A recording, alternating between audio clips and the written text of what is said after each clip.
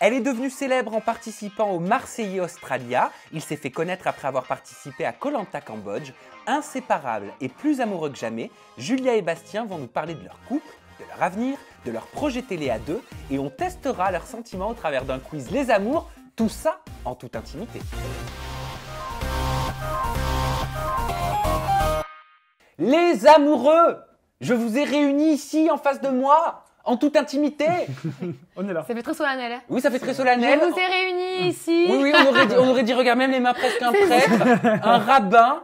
Euh, ma grand-mère avait toujours rêvé que je sois rabbin, remarque. Ben, Donc, euh, voilà. voilà, peut-être, voilà. Mazel Tov au futur mariage. Je ne sais pas ce que vous allez me raconter euh, dans le contenu de cette interview, mais je sais, en tout cas, euh, que j'ai envie d'ouvrir cette interview avec votre rencontre. Je vous ai tous les deux, je ne vous lâche pas, je veux que vous me parliez de ce fameux premier moment, premier instant, premier regard qui a chamboulé toute votre vie.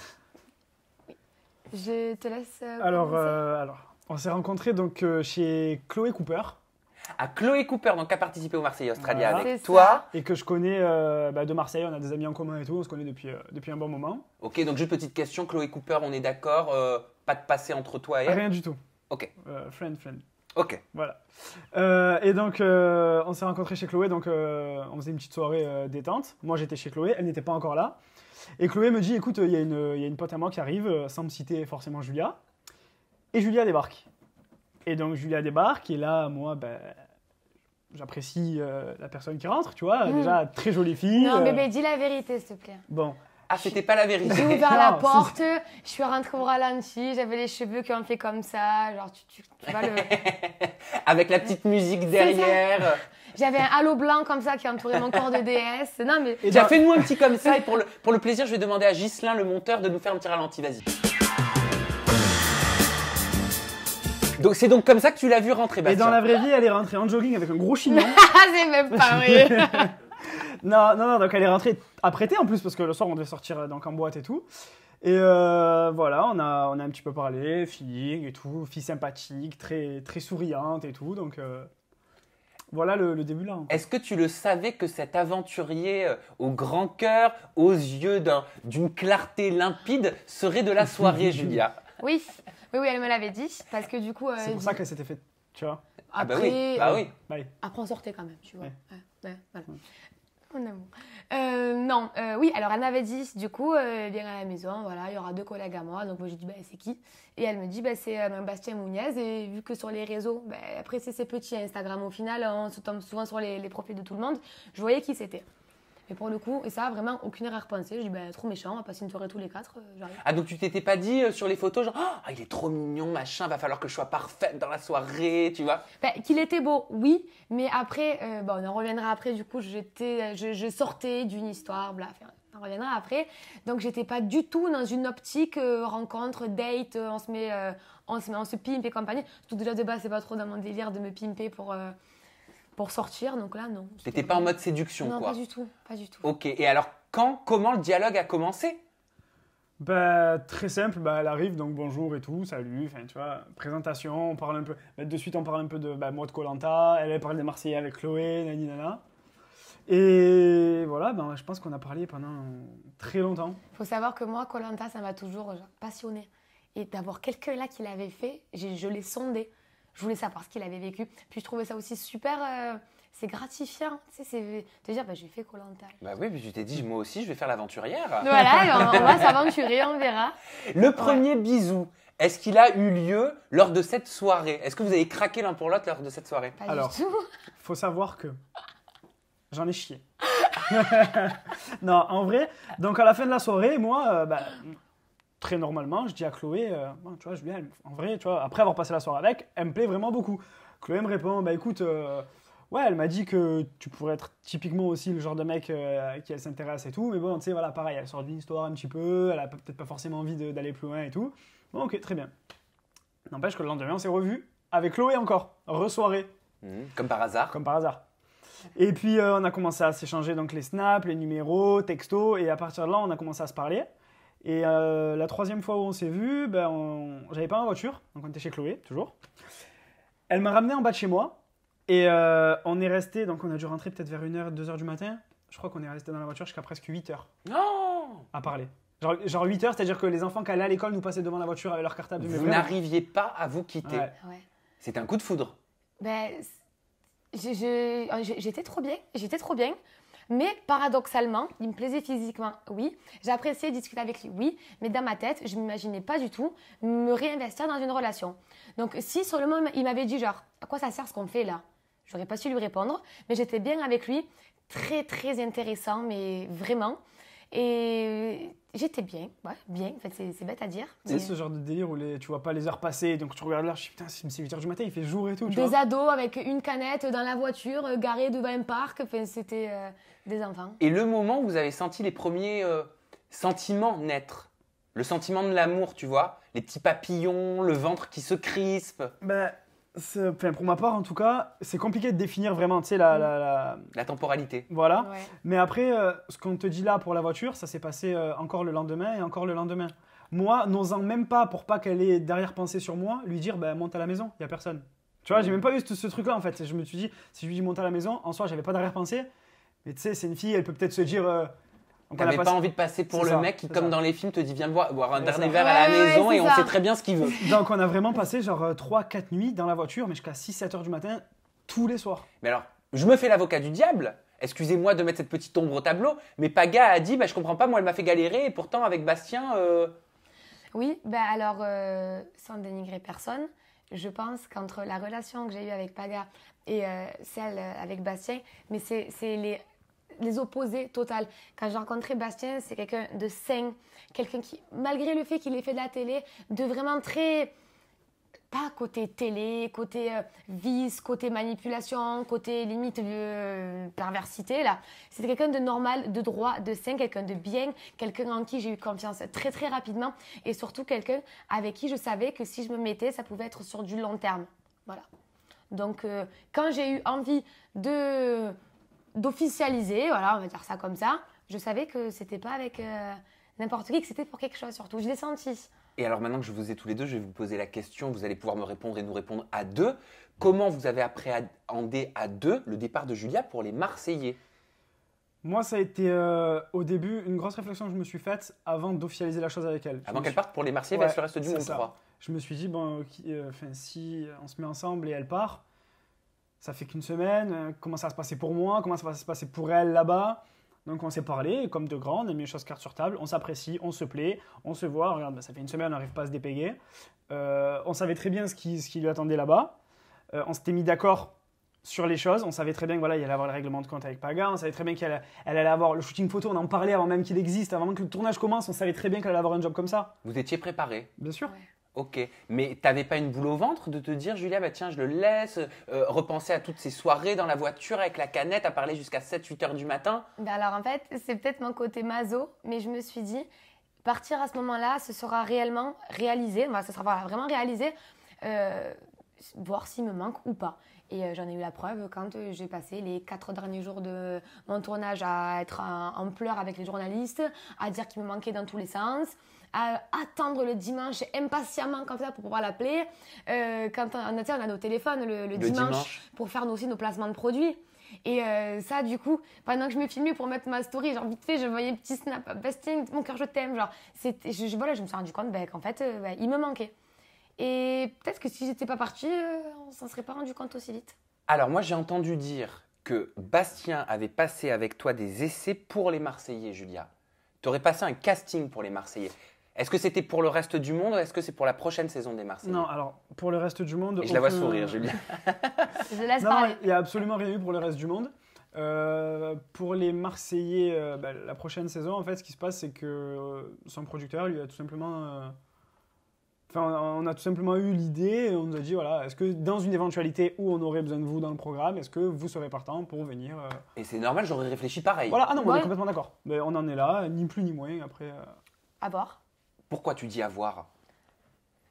À voir. Vous verrez la suite. Et toi, mais ton envie, votre envie profonde, c'est quoi? Moi, je ferai tout en fonction de du bien-être de mon couple. C'est-à-dire que C'est-à-dire qu'il y a des conditions à ça. Voilà, que ce soit les Marseillais, les Anges, la Villa, la bataille, peu importe le programme, euh, je veux avoir une discussion avec la prod. Et si je sens que mon couple peut être mis en danger, ou si je sens qu'il y a plus de points négatifs que de positifs, ou trop de danger, de risque, c'est non et la télé, c'est voilà. Ouais. Et toi, Julia, quelles sont tes exigences par rapport à ça? Pareil, voilà. Qu'on euh, qu'on puisse avoir un, un confort de couple, simplement. Euh, les, pas de style euh, un qui part avant, l'autre qui rejoint, ou pas de, pas, de, ouais, pas de mise à l'épreuve de notre couple, en fait. Voilà. C'est dur d'être un couple soudé quand on veut évoluer dans le milieu de la télé-réalité ou en tout cas qu'on est dedans Oui et non, est-ce que je me permets? Il y aura toujours des gens, des choses, des tournages, peu importe, qui essaieront, qui se mettront au milieu. Les gens, tu sais, tu, tu passes une photo, il y a toujours un qui va te dire, ben j'aime pas. Il y a toujours des choses qui gravitent, des choses négatives qui gravitent autour de nous. Après, en soi, si tu es un couple euh, amoureux et solide, il peut se passer tout et n'importe quoi, que dans tous les cas, tu en sors vainqueur. Moi, je pense que voilà, il faut, il faut juste la confiance dans le couple et faire les bons choix. Mhm.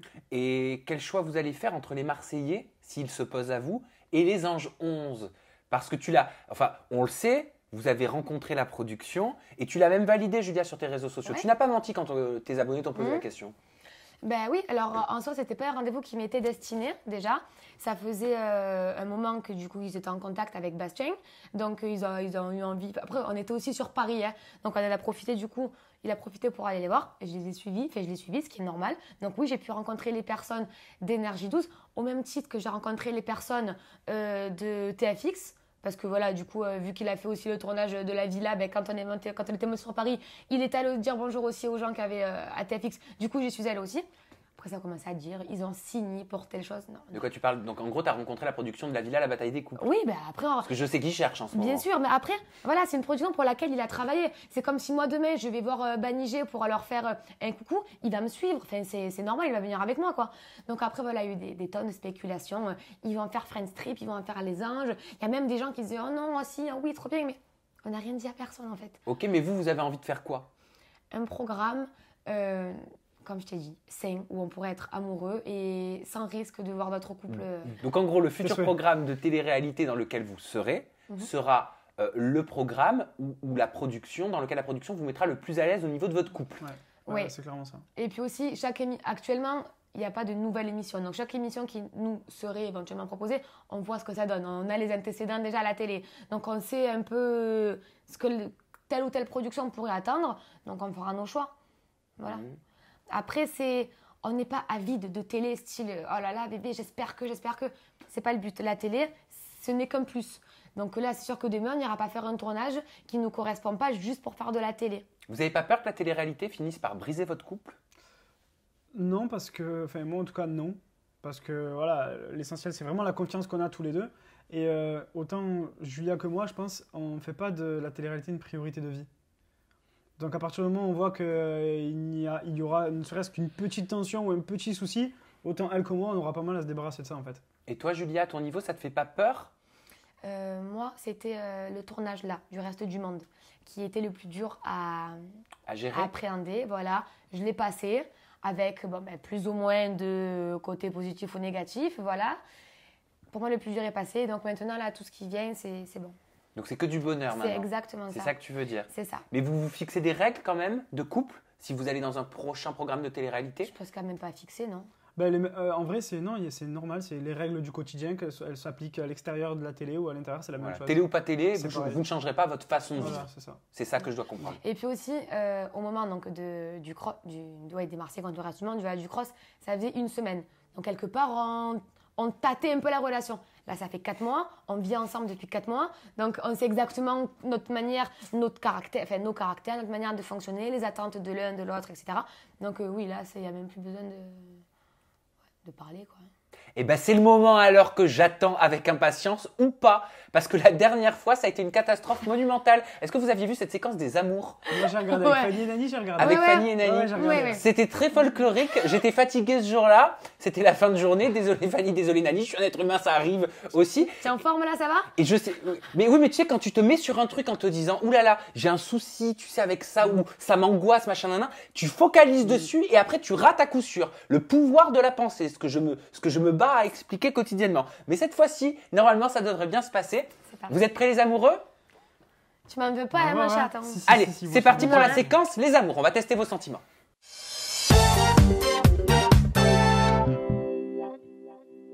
Donc, Julia, je vais te poser une question.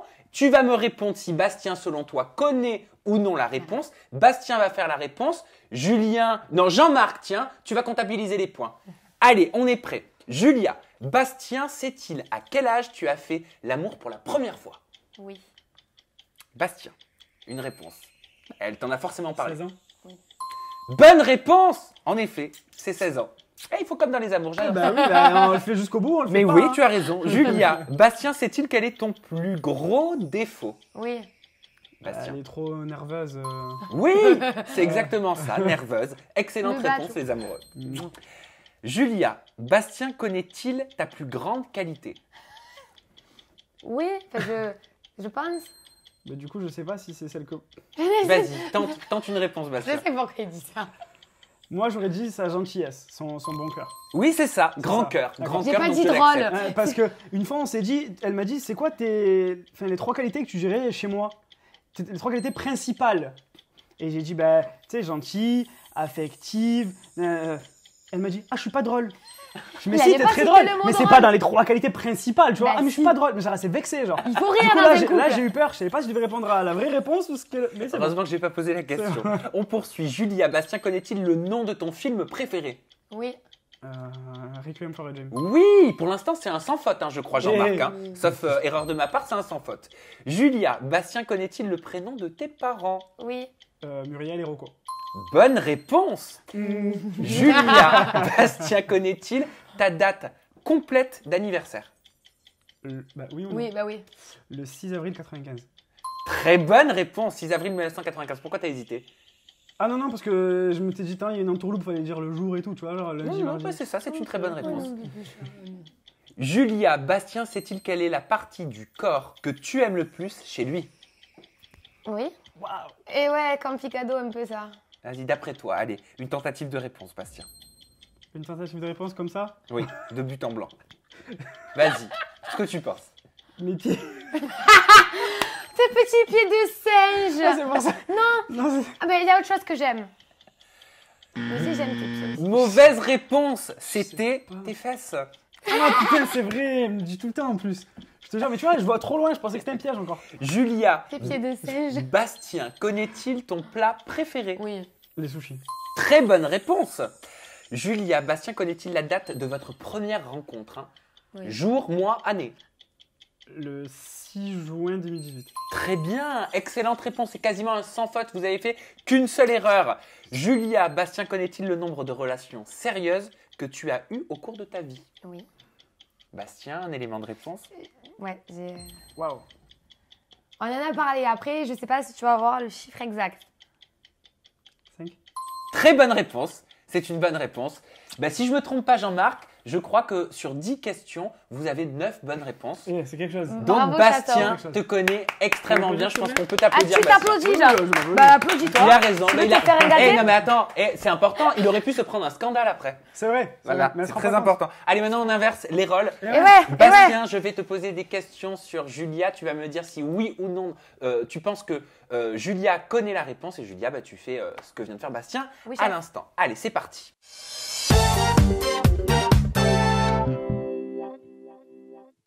Bastien, Julia connaît-elle le prénom de ton meilleur pote?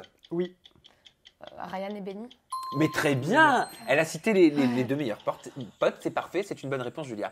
Bastien, Julia connaît-elle ton plus gros défaut? Oui. Ah ouais, il est impulsif.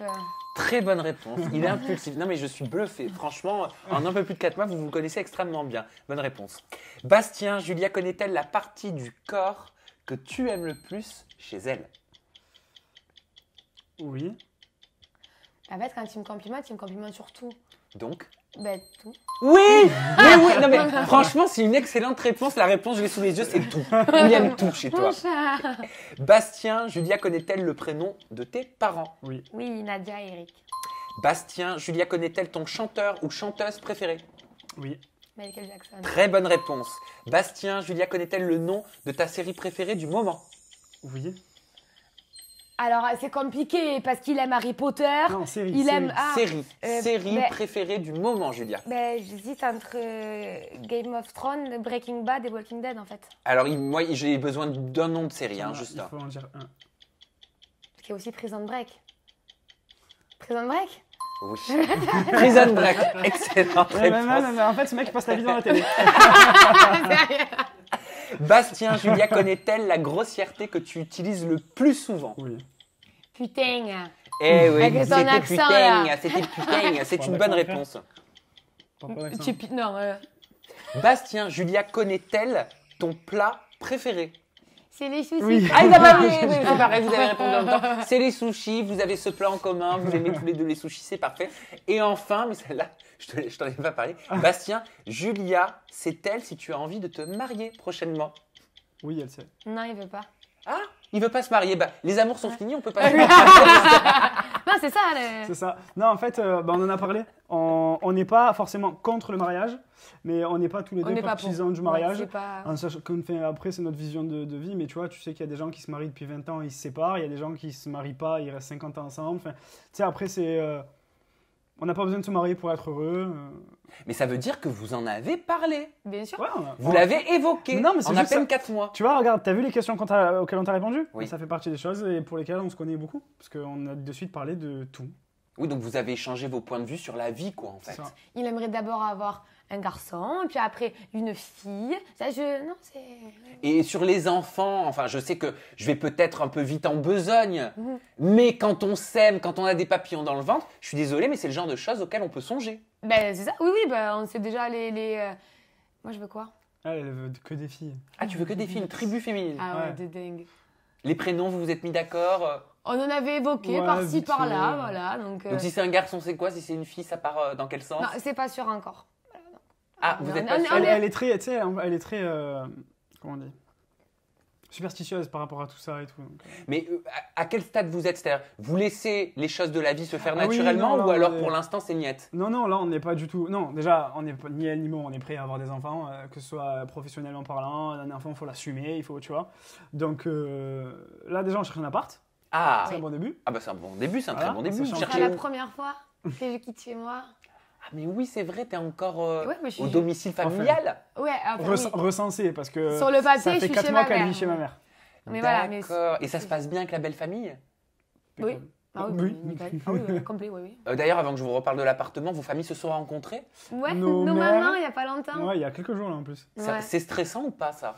Euh, moi, perso, pas du Non, tout. pas plus que ça. Bah si, t'as pas la- l'appréhension de te dire est-ce qu'elles vont s'entendre? Est-ce que tout va bien se passer? Est-ce que le feeling sera là? Non, mais vu leur caractère, c'était sûr ouais, qu'il y, c'est a- ça. qu'il y aurait aucun. en fait, elle s'entend Ouais. trop bien avec ma mère, moi avec la sienne, donc. euh, Elle s'était déjà parlé au téléphone. c'est ça. Elle s'était pas vue, mais elle s'était déjà parlé au téléphone parce qu'elles avaient des, des trucs à se dire. Enfin, Puis c'est Non, pas comme si on venait de demandes différentes euh, qui avaient fait. Enfin, c'est au final. euh, non. Ça vous fait peur cette bouffée d'amour là comme ça? Parce que c'est vrai que ça va vite quand même en 4 mois. Mm.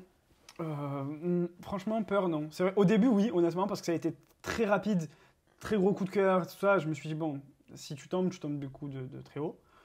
Mais au plus ça va, et en fait, non.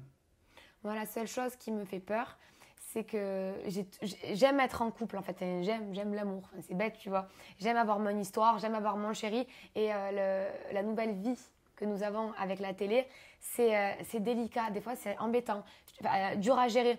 On va mettre une photo de nous deux sur les réseaux. Tu peux être sûr que sur 200 commentaires, bah, tu en auras 10 qui vont ben, moi, je préférais quand il était avec tel, euh, ben, nanani.